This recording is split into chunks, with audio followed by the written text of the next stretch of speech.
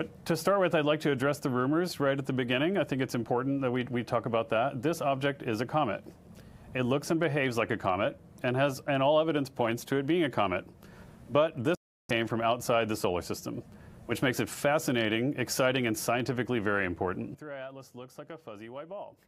That ball cloud of dust and ice called the coma, which is shed by the comet as it continues its trajectory. 3I Atlas, as you heard, is the third known interstellar object to pass through our solar system, the first one being identified in 2017.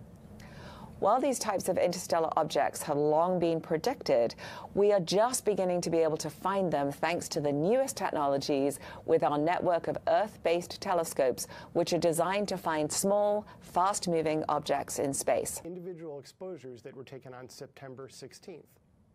Lucy is on its way to study asteroids that share Jupiter's orbit around the Sun, called the Trojan asteroids.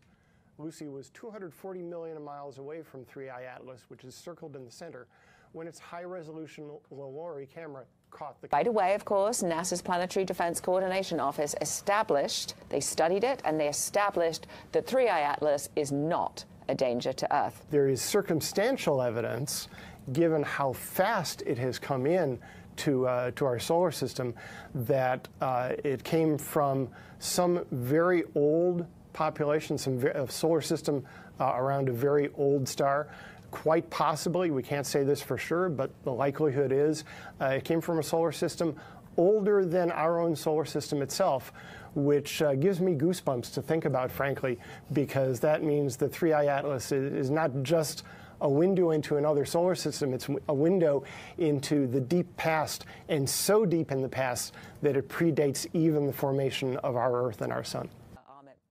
That out um, at the beginning.